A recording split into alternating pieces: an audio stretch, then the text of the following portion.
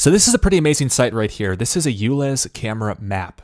And Julie and her team are tracking the destruction of the ULEZ cameras. I set up a convenience URL that will take you straight to this map, where you can check in for the live updates.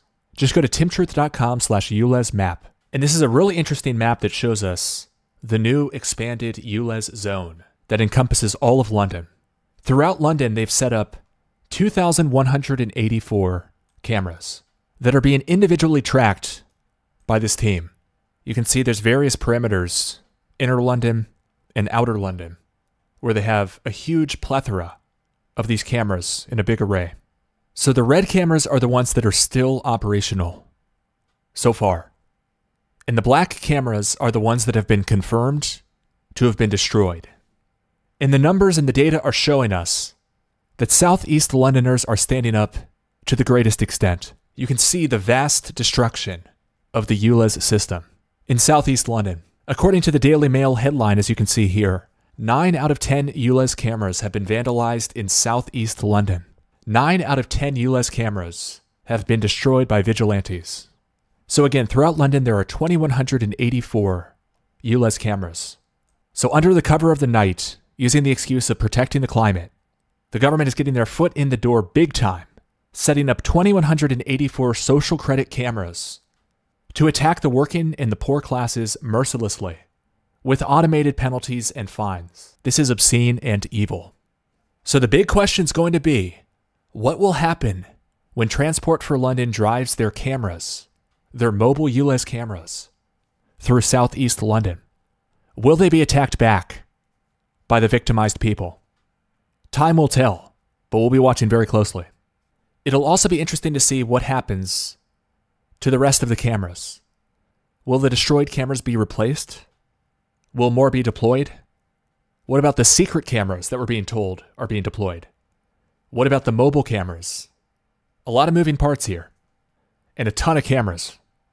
So, according to this map, 545 cameras have been destroyed to date, 25% of the total. And again, the key concentration in southeast London.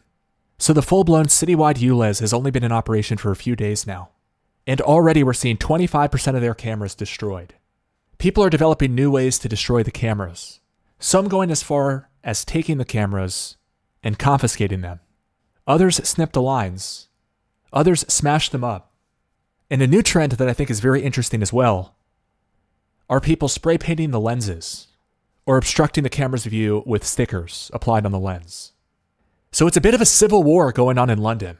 In this map right here, again at timtruth.com slash ULEZ map, shows us almost a scoreboard of the quasi civil war.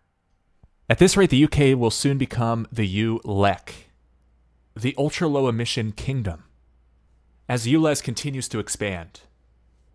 All right, the eco fascists in London have actually done it.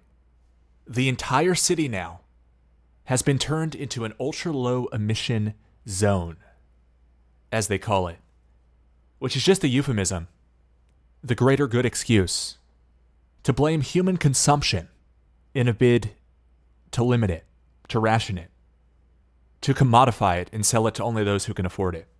So we keep seeing ULEZ expand and expand, and it's clear that it will continue to do so. Take, for instance, the emission standards. Clearly, these are going to continue to be ramped higher and higher and higher. And strategically, it's best for these eco fascists to get their foot in the door with as little resistance as possible before they go absolutely hog wild with the extortion racket. I mean, this is a textbook example of mission creep.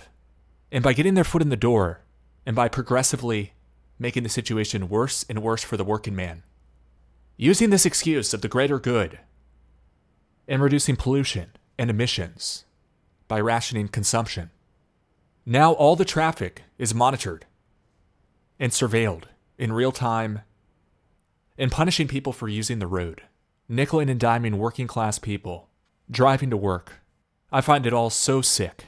And we have a bit of a civil war situation going on in England as we speak. On one hand, we have the tyrannical government putting up thousands and thousands of spy cameras, surveillance cameras, to extort the working man who has to use the roads for work or to take care of their family. This is a huge burden to add to the backs of the poor and the working class. Absolutely disastrous policy. So the government has put up 2,200 cameras, and they continue to expand to ULEZ.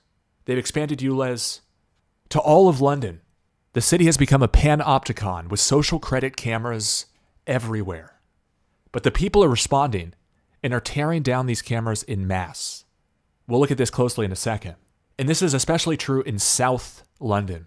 South London gets the gold medal for having taken down the most ULEZ cameras. So we'll be talking about all this ULEZ news and more. But before we start, let me give a big shout out to the sponsor of this video, FE Battery Metals. FE Battery Metals specializes in exploring for lithium metal. Their flagship property is called the Augustus Lithium Property. It's located in Quebec, Canada. The company owns over 60,000 acres in Quebec, and they have numerous other projects exploring for lithium throughout North America. FE Battery Metals has put hundreds of millions of dollars into developing this property in the James Bay region. This is a very strategically selected area that they will be further exploring looking for lithium metal. So, this company has acquired a lot of very strategic land where they will be diligently exploring for lithium. One thing that this company is really excited about is their expertise in lithium exploration. They have a ton of subject matter expertise when it comes to exploring for lithium. One of their top scientists is an expert geologist who in 2020 won the Yukon Prospector of the Year award. And he was given this award because at a different company, he found a huge gold deposit. And this allowed the company to sell the gold that was found for $139 million. So the company's excited they have a very strategic location, a bunch of land under which to explore, and they think they have the right expert geologist for the job. You can check out their presentation and learn more about them at febatterymetals.com. They trade in the United States with the ticker FEMFF. So a big thank you to FE Battery Metals for sponsoring this video. Again, their website to learn more is febatterymetals.com. The city has become a panopticon with social credit cameras everywhere. But the people are responding and are tearing down these cameras in mass. We'll look at this closely in a second. And this is especially true in South London. South London gets the gold medal for having taken down the most ULEZ cameras. But the government refuses to be defeated. Chief conman Sadiq Khan, the leader of this corrupt government, has announced that he's going to send out 20 mobile vans with ULEZ cameras strapped on their tops. Here are some photos of the fleet of vans that people are starting to see surveilling their neighborhoods. This is so sinister and creepy. Straight out of 1984. Everything's being surveilled, and they're already using their favorite climate excuse to justify social credit systems where people are scored and penalized for consuming. This is solidifying the new technocratic caste system. This is poverty enforcement.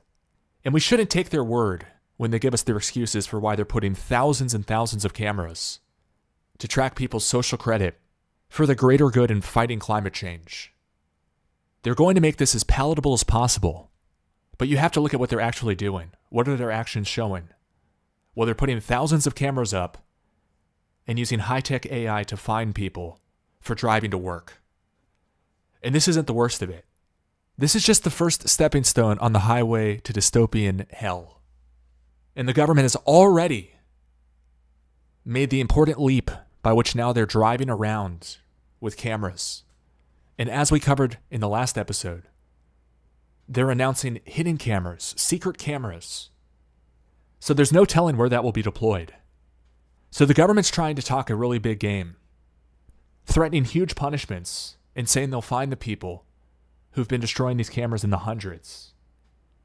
The numbers I'm seeing show 545 destroyed ULEZ cameras. But my question is what's going to happen to these cameras on the top of these vans?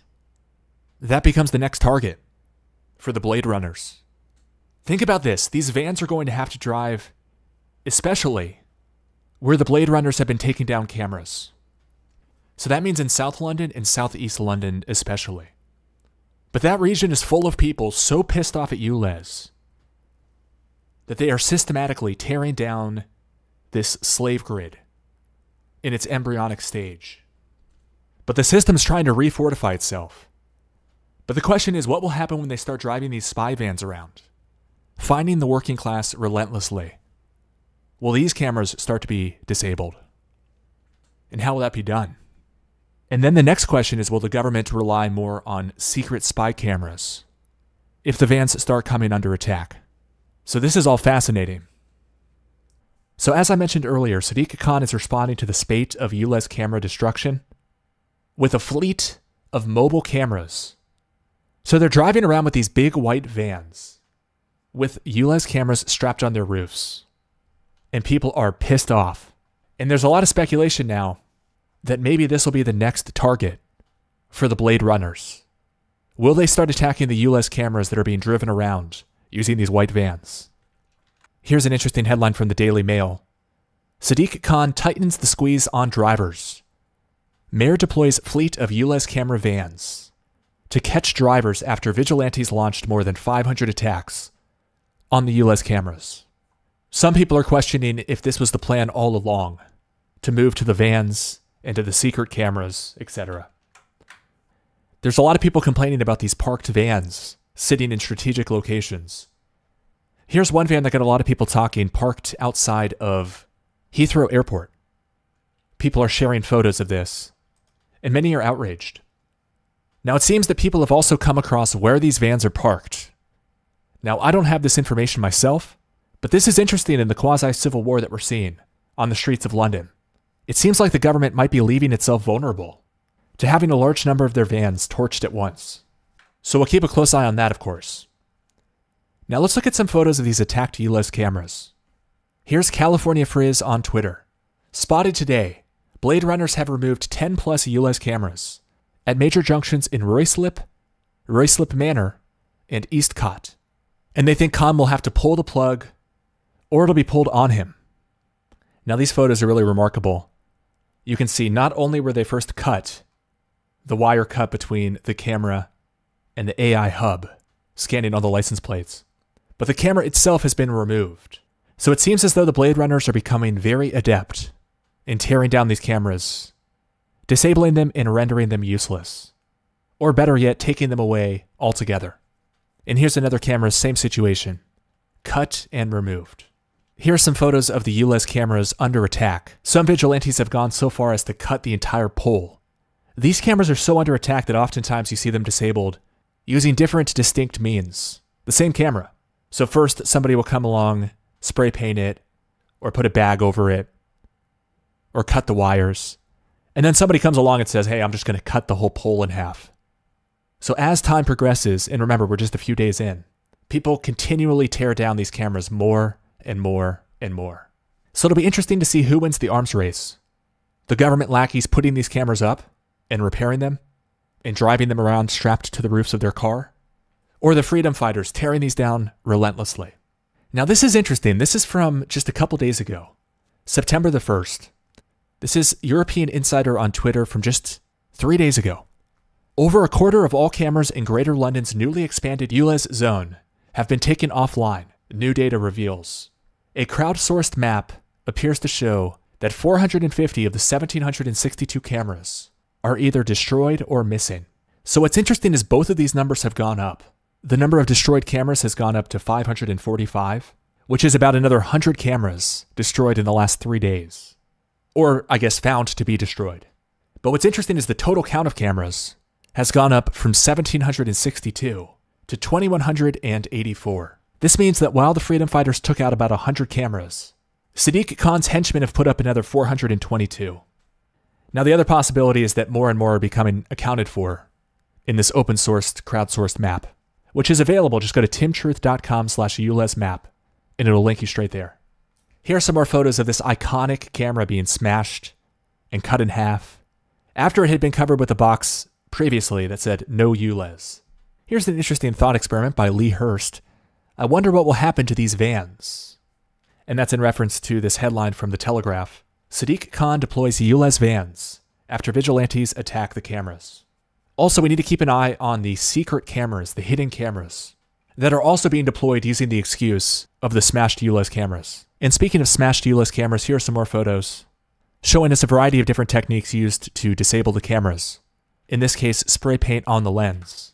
And here's another one that was cut off halfway through the pole. Another key element is people are protesting and raising awareness. We're also seeing graffiti going up saying to stop ULEZ. And also, activists are raising awareness with stickers. Look at this. This is a pretty amazing piece of graffiti. Stop ULEZ. And then it says Blade Runners. So people are putting their artistic talents to work for freedom. Here's an example of an FC UK Con sticker being put over the lens of the camera. And here's another example where it looks like there's been numerous rounds of obstructing stickers and paint applied to the lens of this camera. Here's some more stickers being put up. On the poles, people are putting stickers with an arrow pointing up at the camera and the text that reads ULEZ spy camera. And then this person put a sticker that tells people the camera is spying on them, while at the same time obstructing its view. That's killing two birds with one stone. In other interesting developments, Transport for London and the London government are now enforcing their cameras with more armor. They're reinforcing and fortifying their cameras to make it harder for the Blade Runners to smash and grab. Will it work? Well, it doesn't seem like the government has too much hope, as, again, they're looking to deploy the mobile cameras and the hidden cameras, and the cameras that people do know about are being systematically targeted and destroyed. And again, this has only been in effect for all of London for a little shy of a week. So this is coming to a head really fast. So it seems like the Blade Runners have a stronghold in southeast London. Here's a video from this key territory. We see two cameras with their lines snipped that have been labeled with stickers from activists as ULEZ spy cameras, in a trend that I'm sure will continue. And here's one of the victims of this ULEZ scheme Jimmy the Peaks on Twitter. I thought this was really telling. So, in addition to being nickeled and dimed for going to work, to add insult to injury, Transport for London, who's behind this treacherous plan to instill ULEZ by force and technocratic surveillance.